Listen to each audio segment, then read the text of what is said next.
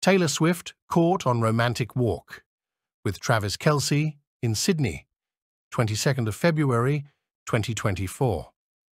The lovebirds were seen holding hands as they got up close and personal with Australian wildlife during a private tour of the park. Both looked so cool together. Taylor Swift wasted no time showing her love for Travis Kelce, the sights around Sydney.